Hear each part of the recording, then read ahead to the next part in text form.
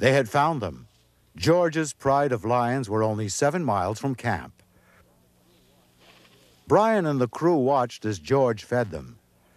These were not tame animals, but wild African carnivores that fed off the land. Yet George seemed unconcerned.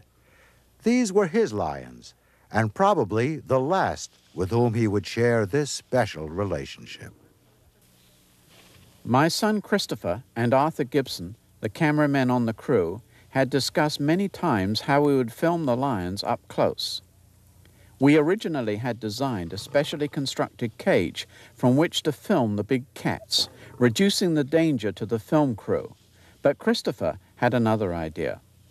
He wanted to film them from George's perspective, but that meant walking up to them with a camera and George at his side. Christopher described the feeling of walking up to a pride of lions in the wild this way.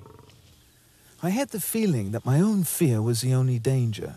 I drew a sense of calm from George as the big cats came towards me. They seemed much larger at eye level and equally uncomfortable at my presence. George had told me lions know. They can feel if you're afraid.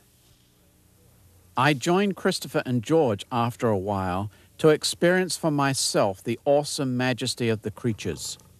I was deeply moved as I stood amid the lions, an experience hard to describe with words alone.